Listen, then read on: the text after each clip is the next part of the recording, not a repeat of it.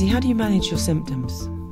It's almost like a day to day impossibility. It's you have to plan everything months in advance to make sure you can do it and you can rest up before, but you also need to be able sometimes just to get up and go and it takes away a lot of that being able to get up and go it's because my main symptoms are sort of chronic fatigue and insomnia it's like trying to do everything whilst walking through mud it's being so tired and then as soon as you get into bed you can't sleep and it's just like an ongoing nightmare so it makes everything much more difficult but i think you just have to go day by day and sort of hope for the best you rest up when you can I always try to put on a sort of big smiley brave face because I don't want people to see it gets me down. I don't want to be the, the downer.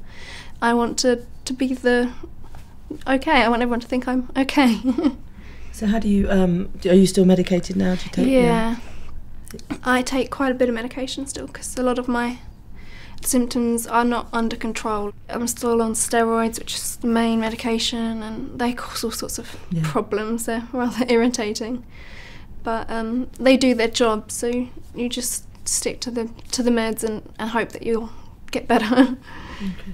I just would much rather be happy and and making sure that everyone else is happy, and because that's what I really want. How do you manage your symptoms? I manage my symptoms day to day. Um, have good days and bad days.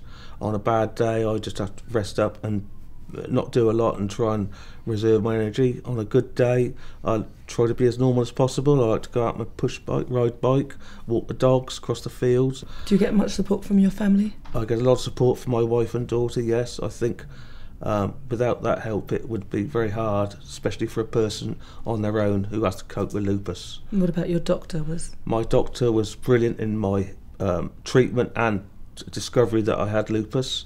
Um, he admitted he didn't know much about lupus before I had it, as he had not come across it much, and we both have swatted up together. And but he still admits I know more than he does.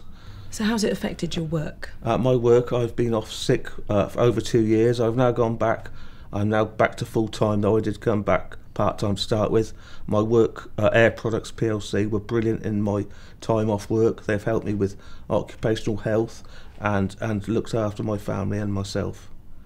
How do you manage your symptoms? Well, the first thing is um, I adhere to my medication, and I'm really strict with that. I also um, adapt my lifestyle. I take the lifts whenever I can instead of stairs. Um, I take steroid medication, so I really watch what I eat. I eat lots of fruits and veg- fruit and vegetables. Um, I tend to eat most, about 50% of my food is raw. Do things like online shopping quite a lot because of the fatigue. So I, you know, get things delivered instead of lugging things around. I ask friends and family for help. I live I, with my sister, so um, she does a lot of the housework, and she's really good at it, uh, at helping. I mean, and I ask friends, and they're quite happy to help out with things like the garden. I, at work, I manage my time effectively, so I make sure that I'm still a valuable person. I make I, I tend to make the most of the time that I spend around people and I contribute so that when I'm not there, it, I'm not missed so much. Managing the illness does involve a lot of planning, and I do have to plan a lot. I give notice because of my fatigue again.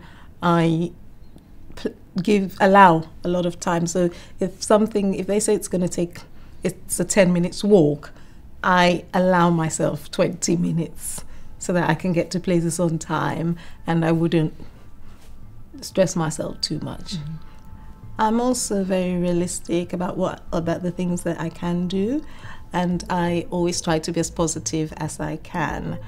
So I do what's necessary, and then I do what's possible, and before I know it, I'm doing the impossible.